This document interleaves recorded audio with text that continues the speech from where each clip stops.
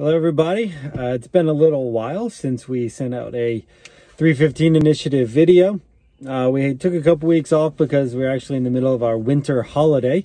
And so our kids were off school and we were working on, um, well, we went on many adventures, did some fun stuff with the kids while they're off school. But we also spent a lot of time working on props and, and things like that for the upcoming musical in September that Tara is directing um, at the school that she's working at. So um, it was a busy holiday for us, but it was really nice. And as I mentioned, it's a winter holiday. So today I figured we'd do a quick video.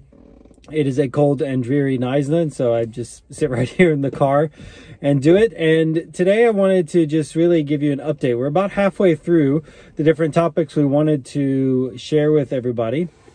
Um, so we still have several several videos to go, but we wanted to give you a quick update on the initiative, how it's going, um, how the Lord has provided so far, and what we still need to do. So, as I mentioned, we're about halfway through our 315 initiative.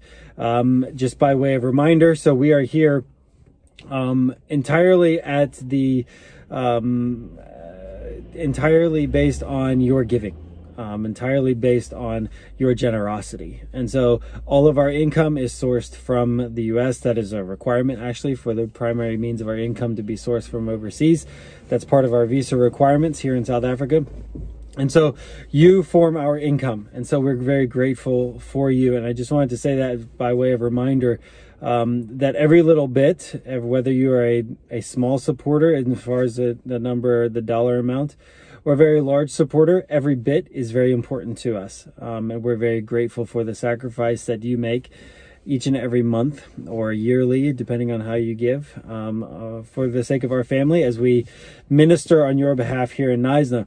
And so part of our part of our life is to continually raise funds. And so um, as we've explained in a previous video, as we launched this initiative, um, the costs here have gone up uh, quite dramatically, um, significantly so. Um, everything from food to electricity to fuel, um, everything has gone up. And since we've lived here for nearly six years now, our our support level, our level of, of income has remained the same. And so it's time that we needed to go ahead and raise that that number a bit. So and to do all this ahead of coming back to visit later this year as we will do more meetings um, and continue to raise support. So the three 15s that we are we are aiming at are $15 increases from current supporters. We've had many that have already signed up to do um, to increase their current level of support. So we're very thankful for you, those of you that have done that.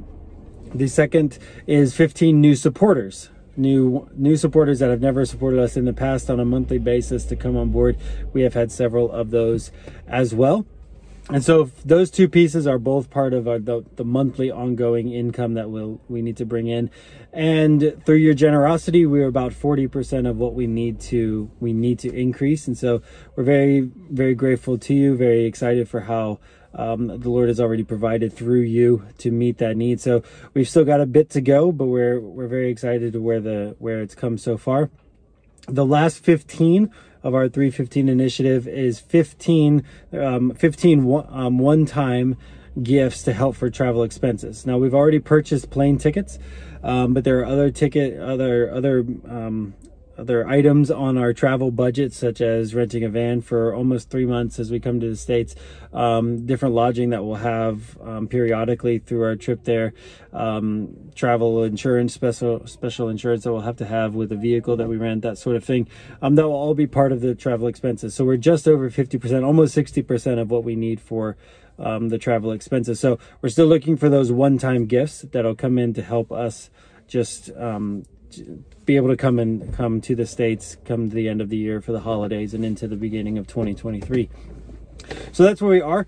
Um, we're we're happy with how it's gone so far. We're really excited about um, how the lord will continue to provide through you um, through the additional topics that we um, that we'll share with you this next week. We want to take you through the Knysna Hope Business Center, which is about to celebrate our one year anniversary of operation. And so we wanted to take you through that, talk more specifically about our church plant, Cornerstone Fellowship Church, and our role there. And then several other things. We want to talk about the Music Academy, talk about um, youth outreach. And we also want to spend some time talking about the future plans for um, how God is leading here in the garden route um, for our family and how ministry looks moving forward and some of the dreams and ideas that we have for continued gospel outreach as we continue to build relationships here in in Knysna and along the garden route. So hopefully you enjoyed this quick update about um, where we are, um, how things are going with the initiative. As always, please check us, check out our page, um, our, our 315 initiative page on our website, mellos4knysna.com. We would love to have you jump on board. As I said, every little bit helps. Um, you'll be helping us directly um, by any of these three different means, whether you increase your current support, whether you're a new supporter, or just a one-time gift to help us with our travel expenses. So thanks for listening. We hope to hear from you soon and keep a lookout for the next videos that will come very shortly.